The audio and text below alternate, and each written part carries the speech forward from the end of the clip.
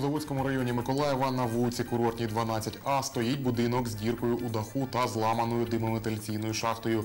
Ніко Баскет двічі переграв старий Луцьк університет. В ефірі телевізійні новини Миколаївщини в студії працює Володимир Степанов. Доброго вечора. Протягом прямого ефіру на екранах ви бачитимете нашу електронну адресу, за якою зможете звертатись до редакції, а також посилання на наш YouTube канал та сторінку у мережі Facebook.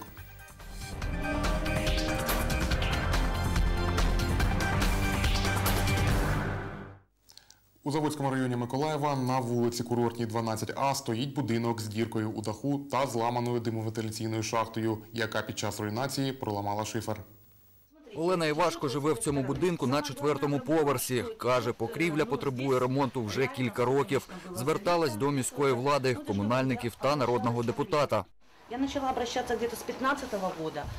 Вот, то Я почала звертатись десь з 15-го року. Ось як тоді, так і зараз йдеться лише про те, що немає грошей, немає грошей в бюджеті. Ми вас поставимо в чергу. Ось коли ця черга. Коли ця черга дістанеться до нашого будинку, нікому не відомо. Тут два під'їзди, чотири поверхи. Зараз будинок стоїть з відкритим дахом. Під час злив квартири на верхніх поверхах заливає. ну вот смотрите, течет вот с этой стороны. Ось дивіться, тече ось з цього боку. Головна проблема, що тече не якимось потоком води, а вода ось ця вже потрапляє в перекриття, тобто вона між стінами. Тобто проблема ця не моя, не однієї людини, яка живе на четвертому поверсі. Этаже.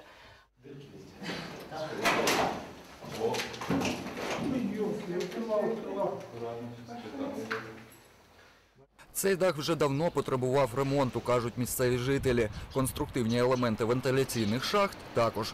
Зазвичай їх зводять з цегли. Тут вони монолітні. Частина одного з них завалилася та зламала шифер, стропила. Утворилась дірка площею близько метра квадратного. Коли саме люди не знають. Побачив пробоїну житель будинку, коли поліз на горище. До департаменту житлово-комунального господарства люди звернулись в кінці березня. Будинок на балансі житлово-комунального підприємства «Бриз».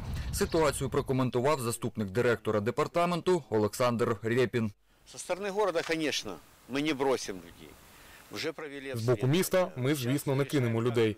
Вже провели обстеження. Зараз вирішуємо, думаємо, як вирішити це в технічному плані. По-перше, треба зняти півторитонний шматок бетону з даху. Треба, щоб був виліт крана. Ми займаємося цими технічними рішеннями, коли буде зрозуміло, як це робити. Протягом місяця-півтора ми це все закінчимо. Таких вентиляційних елементів на даху має бути чотири. На зараз їх три з половиною. ЖЕК е, на балансі ЖКП, на балансі якого ми знаходимося, відповів, що не треба ходити в департамент або у виконком. Ми самі вам поставимо. Ось для цього часу ставлять. Департамент житлово-комунального господарства має подати потребу. Її розгляне департамент фінансів. Після чого виконком міської ради має затвердити відповідний план ремонтних робіт та список об'єктів, де вони будуть виконуватись. Скільки саме це займе часу, Олександр Рєпін не уточнював. Олександр Гордієнко, Ігор Чорний, телевізійні новини Миколаївщини. Сьогодні, 7 квітня, у Миколаєві відзначили п'яту річницю розгону антимайдану у центрі міста. У 2014 році на площі Соборній біля меморіалу десанту Костянтина Ольшанського свій табір розмістили учасники Миколаївського антимайдану. Тут на братській могилі грали у футбол. Аж поки 7 квітня 2014 року учасники Миколаївського майдану не знесли намети прихильників Росії. Сьогодні тут відзначають п'яту річницю від тих подій. На площі Соборній збираються учасники подій п'ятирічної давнини. Олександр Янсен, лідер народного ополчення 2014 року у Миколаєві, говорить, пам'ятає той день по хвилинах. Ми просто вийшли і дали їм, поставили точніше ультиматум и сепаратистам. Ми просто вийшли і дали їм відсіч. Поставили ультиматум сепаратистам, або вони йдуть, або ми їх просто звідти винесемо в той спосіб, як вийде. На той момент було приємно, що зібралась гарна команда, понад 600 людей, які добре розуміли, цей день може бути для нас рубежем. Або завтра сюди війдуть російські танки, як вони обіцяли. Якщо ми їх знесемо, то тут будуть російські війська. Або ж таки в нашому місті буде тихо та спокійно.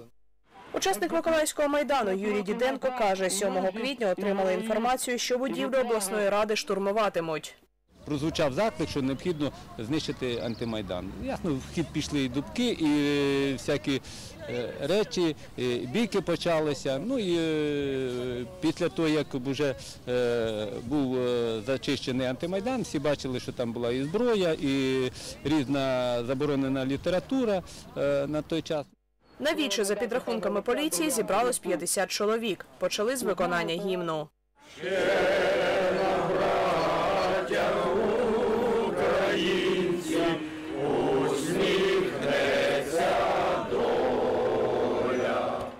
Учасники вічі поділились спогадами, вистроїли колону та рушили ходою вулицею Соборною.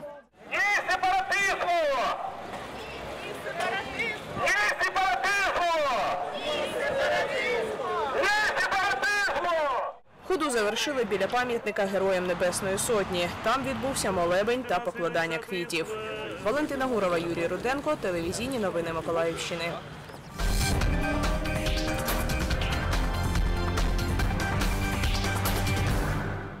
У Миколаєві провели тренінг для журналістів на тему кібербезпека особиста та редакційна, реальність загроз та практики захисту під час виборів. Про європейський досвід протидії впливу дезінформації під час виборчого періоду журналістам Миколаївської області розповіли фахівці з Естонії. Для нас важливо співпрацювати зі спеціалістами на півдні та сході України, ділитися досвідом і сприяти тому, щоб українці були більш стійкими до проросійської пропаганди в умовах гібридної війни. За дорученням Єврокомісії ми організовуємо тренінги для журналістів з усіх районів Миколаївської області. Експерти, які приїхали в Миколаїв, найкращі фахівці Естонії у сфері кіберзахисту. Вони діляться унікальними знаннями. Цю співпрацю ми будемо продовжувати і надалі. Щоб ефективно протидіяти кремлівській пропаганді, потрібно об'єднувати зусилля на міжнародному рівні, говорить співорганізаторка заходу Любов Цибульська. Естонці дуже добре розуміють Україну, розуміють, перед якими викликами ми стоїмо. Вони знають ще з часів радянського союзу, які методики використовував союз, щоб тримати під контролем територію. Відповідно, вони приїжджають сюди не тільки тому, щоб допомогти нам, українцям, а й для того, щоб самим дізнатись, як ми справляємось з цими викликами. За словами учасниці тренінгу Юлії Ткач, здобуті практичні навички допоможуть захистити себе та редакцію від інформаційних атак. Нам представлені результати дослідження е, щодо інформаційної так е, війни, щодо гібридної війни, е, до методів кремлівської, скажімо, пропаганди, методів якогось нативного впливу на українські та європейські медіа, як до чого це може призвести.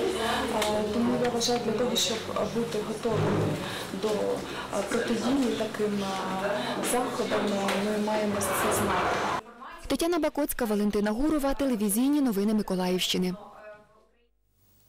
Ніко Баскет зберіг шанси на вихід до півфіналу чемпіонату України з баскетболу серед команд вищої ліги. На паркеті спорткомплексу Надія підопічні Валентина Береснєва двічі перемогли Старий Луцьк університет. У обох матчах господарі здобували перевагу у першій половині, а потім втримували гандикап. Перша гра завершилася з рахунком 78-64, друга 84-69. Миколаївська команда посідає шосте місце у турнірній таблиці. Білосині поступаються другій команді Хіміка, яка перебуває на четвертому місці двома перемогами. Саме з цією командою Ніко Баскет двічі зіграє у Южному 13 і 14 квітня. На цьому в мене все. Більше інформації дізнаєтесь у нашому наступному випуску о 19.00. До зустрічі!